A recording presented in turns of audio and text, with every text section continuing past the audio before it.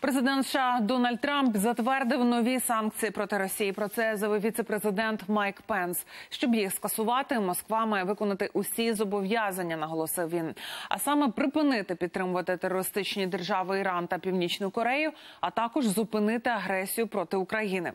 Найболючіше вони вдарять по російському енергетичному сектору, а ще передбачають штрафи для європейських компаній, які будуть співпрацювати з Газпромом в разі реалізації проекту Північний потік. 2 раніше за санкції проти Кремля майже одноголосно проголосували обидві палати американського конгресу.